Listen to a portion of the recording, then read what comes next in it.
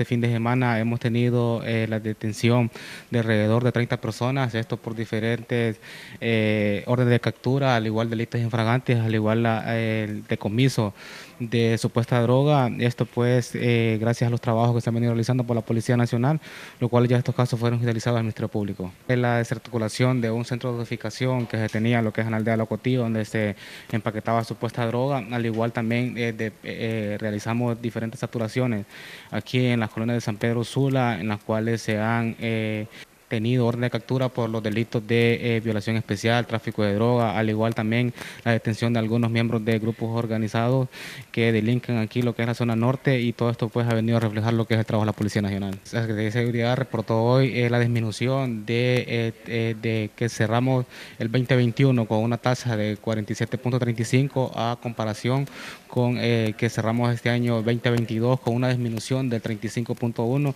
Esto porcentualmente viene a generar dar lo que son las cifras positivas por parte de la Policía Nacional y vamos a seguir trabajando pues con el estado de sección que ha venido a dar mayores resultados en disminución a la incidencia delictiva aquí en la zona norte del país. Ya las estrategias de seguridad por parte del alto mando de la Policía Nacional ya están tomadas, vamos a seguir eh, lo que son con el estado de sección que ha venido a dar mayores resultados aquí en el país y vamos a trabajar conjuntamente con todas las direcciones de la Policía Nacional. Vamos eh, a tratar estos últimos siete días que parten del estado de sección y ya está pues eh, reunido el alto mando para darle pues una mayor